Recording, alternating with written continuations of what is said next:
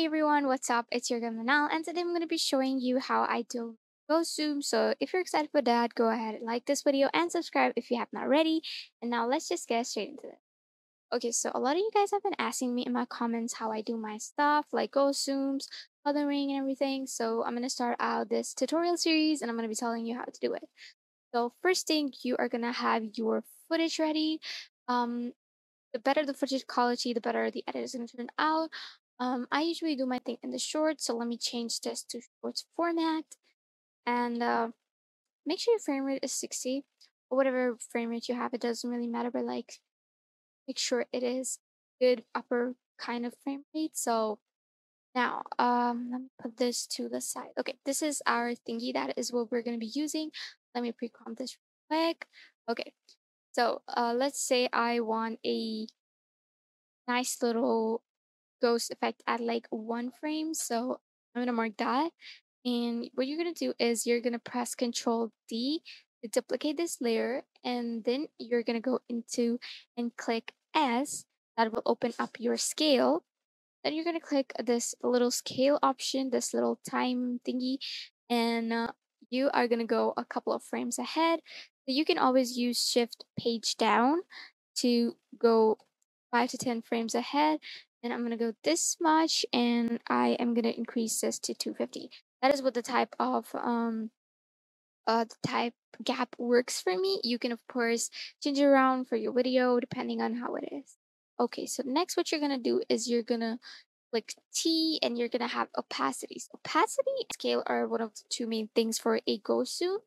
So you're going to click on the stopwatch again and as you can see it's already on 100 if you press U, you can see all of your time frames. So I'm going to go back to this one, our last one, and I'm going to turn this to a zero. So if you play this, it's going to be pretty good, but, but let me tell you, it can get smoother if you can just add some more stuff to it, like graphs. So let me play this up for you real quick. Oh my gosh, why is it not playing? Okay, so it's not playing, uh, but as you can see, it's like really, really cute.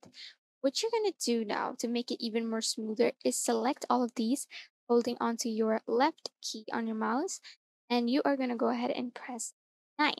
That is a shortcut to easy ease it, or you could just, you know, go ahead and easy ease it uh, from like this. You're gonna hold onto the keyframe, you're gonna go for keyframe assistance, and you're gonna go easy ease. So it will easy ease both of them.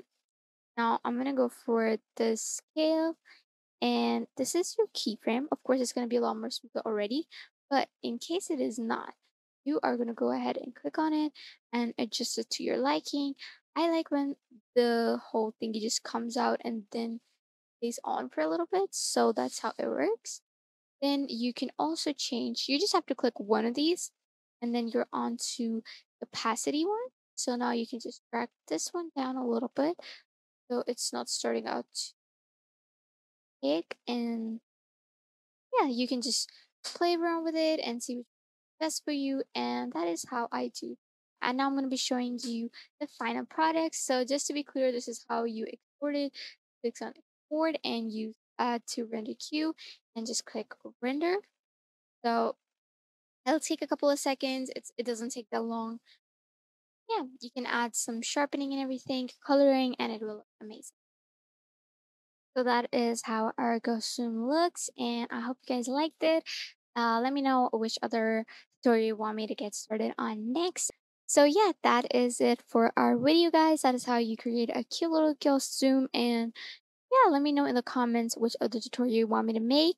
And have a good day, you guys. See you in the next one. Bye.